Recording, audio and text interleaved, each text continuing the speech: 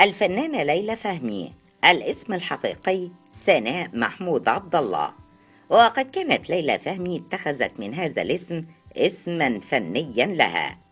ولدت سناء محمود عبد الله في الحادي عشر من شهر يونيو من العام ثمانية وثلاثين بمدينة المنصورة الدقهلية. وقد تخرجت وحصلت على شهادة البكالوريوس في الفنون المسرحية. عملت ليلى فهمي بالمسرح ليمتد نشاطها الفني بعد ذلك إلى السينما والتلفزيون. وقد استطاعت خلال نحو خمسين عاما أن ترسم شخصية طريفة محببة إلى الجمهور في أدوار صغيرة تبعث على البهجة والضحك. فاشتهرت ليلى فهمي مثلا بأدوار الأم والفلاحة والحماة القوية كما يذكر لها دورها في فيلم احترس من الخط مع عادل إمام ولبلبة في دور والدة لبلبة شيك جدا وجميل جدا. يعني زي ما تقولي شكل كده بالظبط. يبقى يقطع الخامرة من البيت. وكمان جدع قوي ومفتح قوي زي حالاتي بالظبط. تبقى خدت الأمان راكبة جمل. وإذا كان على الإخلاص والأمانة اعتبريه كأن أنا بالظبط. يبقوا سلموا القط مفتاح القرار. مساهمتها التلفزيونية متعددة وكذلك في مجال السينما حيث بدأت في السينما في العام 58 في فيلم حسن ونعيمة ومن أشهر مسرحياتها مسرحية هلو شلبي الحكمة الثالثة اللص الشريف النحلة والدبور رحلت الممثلة القديرة ليلى فهمي عن عالمنا في العام 2003 رحم الله ليلى فهمي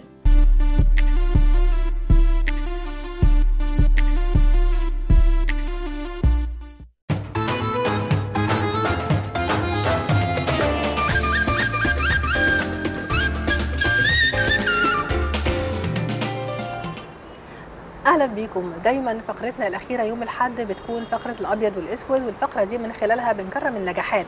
حتى لو النجاحات أصحابها رحلوا عن عالمنا لكن النجاح ما زال باقيا وبيخلد ذكرهم سواء من خلال شريط السينما أو من خلال الأعمال المسرحية والتلفزيونية الباقية.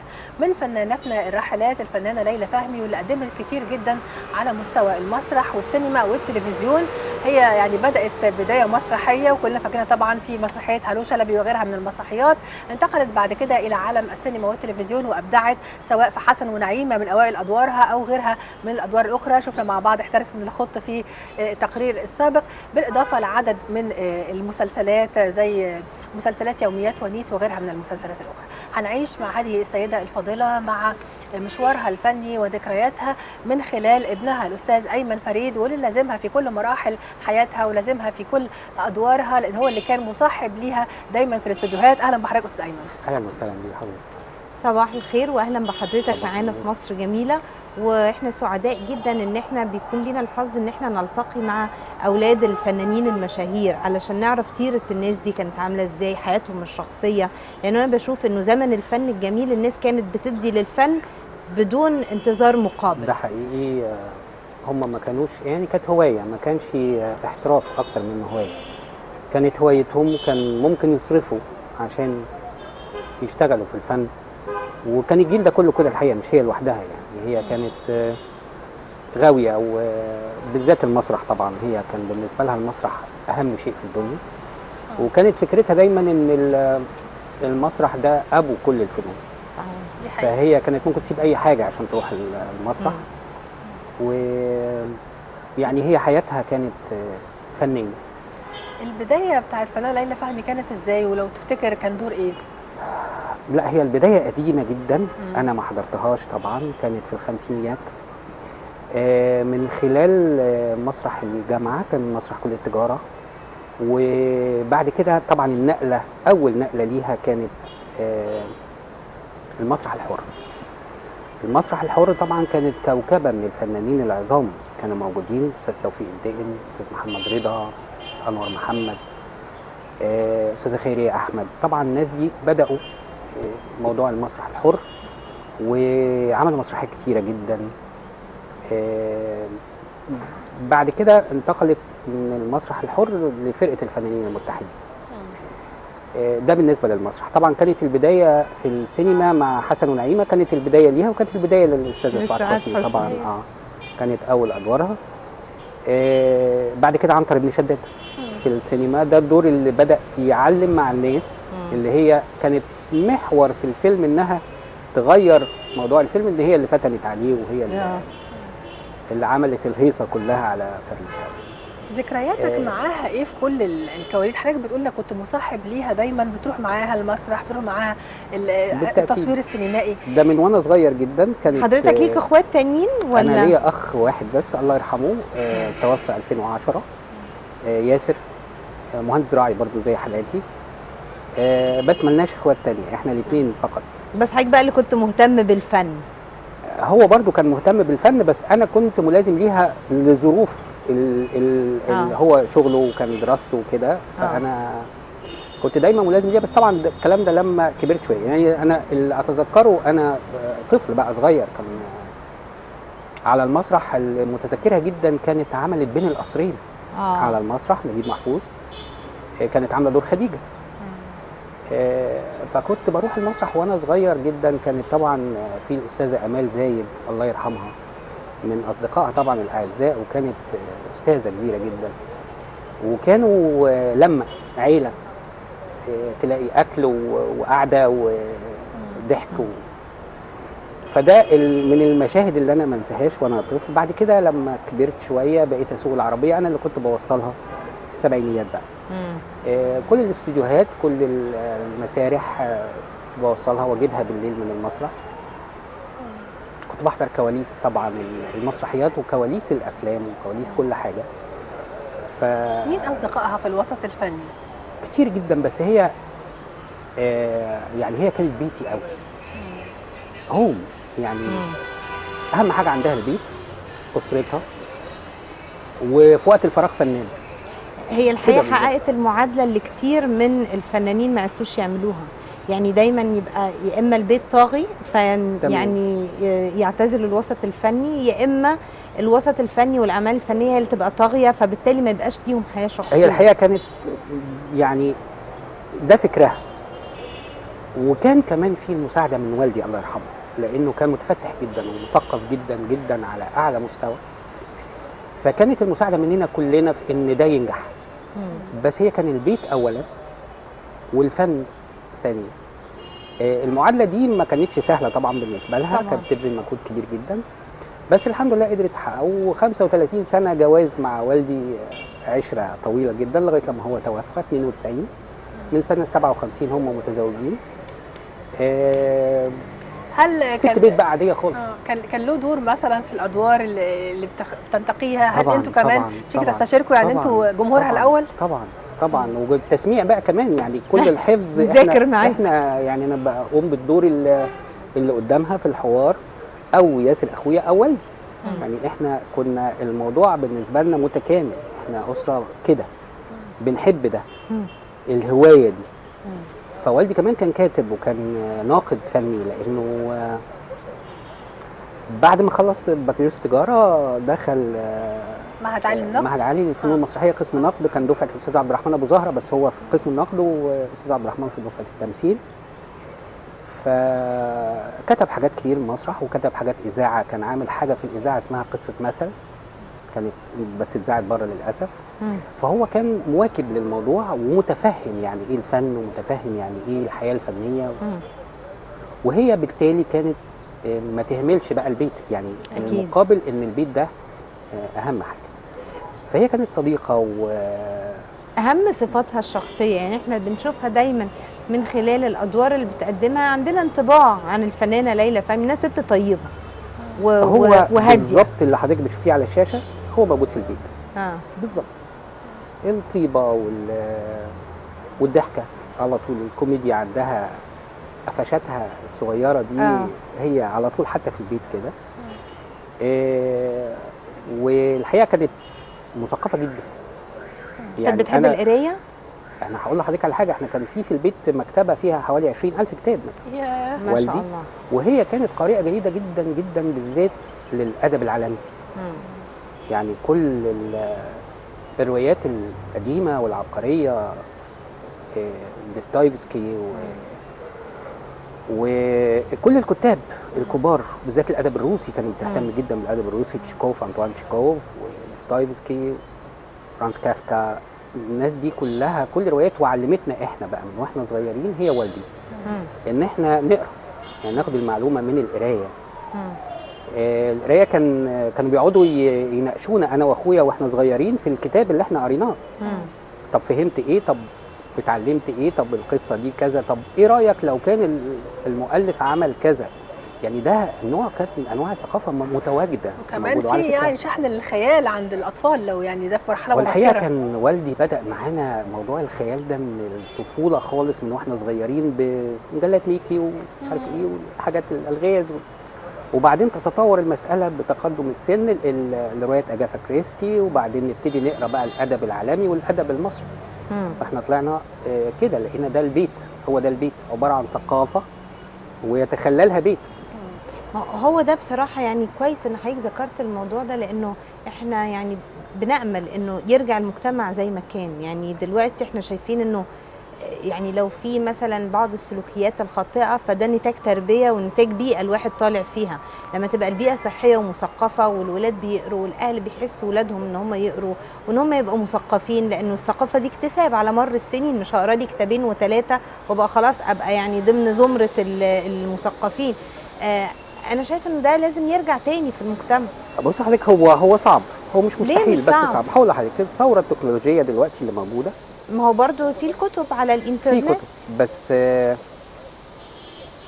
عشان يقعد يستقطع من وقته جزء كبير مش مش صغير إن هو يقرأ كتاب أو يقرأ حاجة على الإنترنت لا هو بيعمل حاجات تانية أهم. باختلاف بقى العقليات في ناس بتعمل حاجات تانية آه، لمجرد انترتينمنت لمجرد إنها بتضيع وقت. وفي ناس بتهتم شغلها على الإنترنت فالجزء المخصص للقراءة أصبح طبيعي في المجتمع حاجة قليلة جدا. مش زي الأول. الأول كان مثلا مثلا التلفزيون مثلا الساعة 12 خلاص. طب ما أنا ممكن أعمل لنفسي نظام.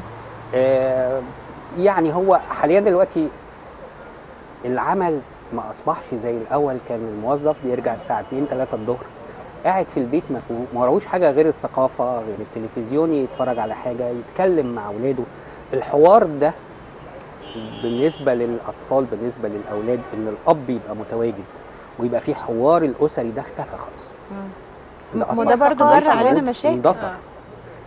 ده مشاكل في المجتمع من من لأن حاليا دلوقتي كان ال- ال- اللي بيربي الأول الأسرة والبيت حاليا للأسف اللي بيربي الشارع حضرتك لأن كنت الأم بتبقى عندها ضغوط الأب مش موجود في البيت فانزلوا يعني ينزل وانت. بتتكلم على التلفزيون ومشاهدة التلفزيون الفنانة ليلى فهمي كانت وثيقة الصلة بماسبيرو. يعني إحنا نتذكرها وهي بتقدم آه، برنامج آه، صحي أعتقد صحة وعافية. صحة وعافية في رمضان وعافية، آه طبعا سنين طبعا. طويلة. طبعاً. وهي كانت يعني بارزة جدا فيه وإحنا كنا بنتابعها. البرنامج ده كان آه، فكرة عبقرية. طبعا أستاذ كان الدكتور آه، عبد الرزاق نوفل. ابنه محمد عبد الرزاق نوفل. الكاتب الكبير طبعا عبد الرزاق نوفل هو كان ابنه آه، كان دكتور أخصائي تغذية. مم. ففكروا مع بعض تقريبا فكرة البرنامج وكان المخرج الأستاذ رضا شوقي. صحيح. الحقيقة أنا بقدم له تحية كبيرة جدا لأن الراجل ده مخرج عنده creation عالي قوي عنده ابتكار. فقدموا البرنامج مع الأستاذ محمود التوني طبعا كان آه، عمل حالة كده جميلة لدرجة إن ما في يعني صعب جدا إن برنامج يستمر ثلاث سنين في التلفزيون كل سنة في رمضان يتعمل آه. نفس وكان الناس بتطلبه والحقيقة كانت فكرة أول حلوة فكرة عن كان- فكرة التغذية وإنها تمثل دراما فدي دراما بتظهر عيوب الأكل وعيوب إيه اللي ما نعملوش في رمضان وإيه اللي نعمله وهو كان بيطلع يعلق بصيغة طبية كده. فكانت الحقيقة فكرة جميلة جدا وده من البرامج اللي كان آه، يعني نقلة في حياتها برضو. ما هو شوف حضرتك الثقافة بتعمل إيه؟ بتخلينا نعمل أفكار جديدة مختلفة مفيدة نقدمها للمجتمع. من غير ثقافة الحقيقة الغريب في الأمر إن إحنا الثقافة عندنا قديمة الأزل. يعني إحنا ما استغلناش الثقافة اللي إحنا ورثناها جيناتيكالي من جدودنا. إحنا صدرنا الثقافة للعالم كله. بس حاليا آه، للأسف ال- العيب فين؟ حاجات كتير قوي. لازم حاجات كتير قوي تتغير عشان الموضوع ده يرجع تاني. الثقافه مش ثقافة فنية بس ولا أدبية بس ده ثقافة الحوار ثقافة ال- الكلام الطريقة الأسلوب كل ده. نرجع للفنانه ليلى فهمي والحاجات اللي حضرتك شخصيا بتحب تتفرج عليها كل مرة لما بتشوفها يعني بتحس إن والدتك ما زالت موجودة قدامك ويعني بتفكرك بيها؟ هو للأسف في حاجات آه، مش متصورة كتير. ده خسارة كبيرة آه طبعا. طبعا. الحقيقة وكان ليها أسباب غريبة جدا إنها ما تتصورش يعني. مم. آه، كانت عملت مسرحية اسمها هو بكام النهارده سنة 87 من المسرحيات اللي بحبها جدا جدا جدا لأنها كانت أول آه، تقريبا مسرحية تبين عيوب المجتمع في جزئية معينة. التغير اللي حصل وإن بقت الفلوس هي اللي طاغية فكرة على كل شيء. الخاطئ. آه، دي كانت سنة 87 مم. الحقيقة كان دورها هايل جدا وكانت المسرحية هايلة جدا بس دي إحنا ما ما اتصورتش. ما اتصورتش من الحاجات طبعا بحبها جدا هلو شلبي طبعا دي كانت من النقلات الكبيرة ليها لأن كانت آه، يعني أول حاجة مع الفنانين المتحدين وكان أول حاجة تتعرض أو تتشاف مع الاستاذ عبد المنعم مدبولي طبعا والفرقه الفظيعه اللي كانت موجودة دي الأستاذ سعيد صالح. الأستاذة مديحة كامل الله يرحمهم جميعا كانت حاجة آه، نقلة كبيرة جدا في حياتها من ضمن الحاجات تحترس من الخطة طبعا بحبه جدا دور هايل وعملت كمان فيلم مع عادل إمام واحدة بواحدة مع الأستاذة ميرفت أمين كانت طالعة سكرتيرتها. آه، يعني طبعا هي هي في آه، حاجة يمكن حضرتك قلتيها في التقرير إن هي اشتغلت في ونيس. لا هي ما اشتغلتش في ونيس. هي ذكر اسمها في ونيس في المكرمين بعد وفاتها. أستاذ آه. محمد صبحي كان كاتب كل أسماء الناس اللي فقدناهم وبيكرمهم في هي ما اشتركتش. في ونيس. هو دي اللمسة الجميلة بقى من الفنانين. إحنا بنتكلم عن عصر طبعا كامل. طبعا طبعا هي عمل يعني اتعمل تكريم في المسرح كمان. أذكر حاجة كانت عبقرية جدا. كان اتعمل تكريم في المسرح لكل فنانين المسرح على مدار 30 يوم في رمضان في المسرح القومي. كل يوم اتنين فنانين بيكرموا مع بعض. فهي كانت الحقيقة كان حظها إنها طلعت مع الأستاذ محمد صبحي يتكرموا يعني فأنا كنت حاضر ال- التكريم كنت معاها فالحقيقة جملة قالها الأستاذ محمد صبحي أثرت فيا أنا شخصيا. وأنا بأدين ليه. بالجملة اللي قالها دي آه، كان الحقيقة طلعت هي الأول فبتقول كلمة إن أنا مبسوطة إن أنا اتكرمت في بيتي في المسرح وطبعا يعني مبسوطة زيادة إن أنا بتكرم مع الأستاذ محمد صبحي لأن أنا اشتغلت معاه ونزلت خدت التكريم بتاعها ونزلت طلع الأستاذ محمد صبحي بعدها. فقال طبعا أنا مبسوط إن أنا بتكرم في المسرح وبعدين بقول للمدام ليلى فهمي عفوا انت مش اشتغلت معايا أنا اشتغلت معاكي كومبارس صغير جدا وكنت اتشرفت إن أنا كانت لمسة رائعة من فنان كبير بيقدر الناس اللي الجيل اللي قبل منه والجيل اللي سبقه. صحيح. هو فعلا كان يشتغل معاه في في هلو شلبي كان دور صغير مقطع جدا. صغير. وهي والله هو ده. حال الفن بيخلي الناس ترتقي مشاعرها ترتقي. يعني لازم نهتم أكتر بالفنون لازم نهتم أكتر بالمسرح لازم نهتم بالرسالة الهادفة والكلمة الهادفة اللي يبني بيها المجتمع. لأنه يعني حضرتك على ذكر المثال الصغير اللي قاله آه، آه، الفنان الكبير محمد صبحي طبعا. الأستاذ صبحي آه، ده مش نتاج حاجة يعني نتاج آه، رقي. أخلاق وسمو في الأخلاق جدا لأنه مثقف ولأنه صحيح. اشتغل في عصر مليان بالأخلاقيات واكتسب حاجات كتيرة جدا وهو ده اللي عمله فينا الفن والثقافة أي في حقبة زمنية ما فعشان كده لازم نرجع نقول نهتم بالفنون ونرجعها تاني وهي دي القوه الناعمه لمصر في كل دول العالم النعمة لمصر عملت حاجات كتيرة جدا جدا طبعاً. جدا على مدار الزمن طبعا أنا برضو بنتهز الفرصة وبعازي الشعب المصري كله في, في شهدائنا. ربنا يرحمهم جميعا. ومش هيبقوا أول ناس ولا آخر ناس. مصر مكتوب عليها دايما إنها تواجه ال- ال- الشدائد دي. وعلى ذكر ده كان والدتي رحمة الله عليها هي كانت بالإضافة لذلك هي ثورجية جدا. وكانت بتعتبر نفسها بنت الجيش. لأن طلعت في جميع الأوقات الصعبة لمصر على الجبهة. يعني هي عملت على مسرحيات في حرب 56 على الجبهة ومتكرمة من الرئيس عبد الناصر في 56 في 67 طبعا مش هقول لحضرتك كانت تقريبا ملازمة لفت مصر كلها. كل معسكرات مصر وكل الجبهات في مصر بيعملوا عروض مسرحية. واتكرمت تاني من الرئيس جمال عبد الناصر واتكرمت من الرئيس السادات في حرب الاستنزاف برضو من 70 ل 73 في الفترة دي عملت حاجات كتيرة جدا جدا فيها. وكانت آه، في الأواخر بقى كمان كانوا عاملين حاجة اسمها المسرح الجوي.